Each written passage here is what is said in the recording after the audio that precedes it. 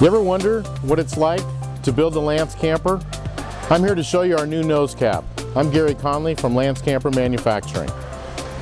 You know, a lot of time and process has been put into the uh, design and the effort of the front nose cap on our product.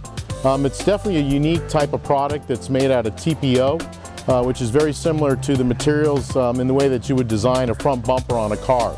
The process that it takes to build this front nose cap is uh, very um, expensive and it's also uh, very creative on the design standpoint.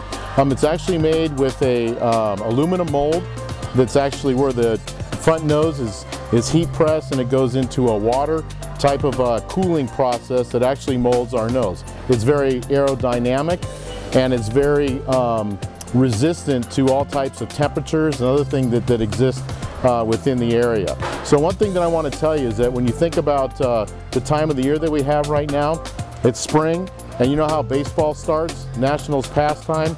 Well, think about it this way. You got the minor leagues, okay? And we're going to take you to the major leagues and show you exactly what our noses can do. You know, it's really exciting when a ball player gets brought up into the major leagues, but obviously there's things that need to be talked about and learned about the etiquette and the production process. So let me talk about the three different types of noses that exist within the industry. One is an ABS nose, a fiberglass nose, and the Lance exclusive TPO. Now, one thing that I'll tell you about ABS and fiberglass, that when it gets cold, they can crack. And if you're driving down the road and it's uh, colder weather and things like that, if something impacts the front of the nose, there's a potential that the nose will crack.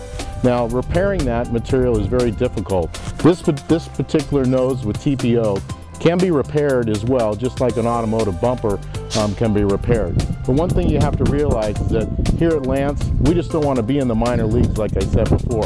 When we get up to the plate, we want to swing for the fences. Imagine that, 55 to 75 miles an hour down the road, and you impact a bird or something like that. You know what happens to the Lance nose? Not a thing. Try that on another product. You'll see what happens. When you're considering products, hopefully you're going to consider that the Lance nose is far superior than any other product that is built. Remember, we are in the major leagues here, and we play and we want to swing for the fences. So when you're thinking about other products and other things, consider the design element that has gone into our front nose and where this puts Lance. Thank you for watching. I'm Gary Conley from Lance Camper Manufacturing.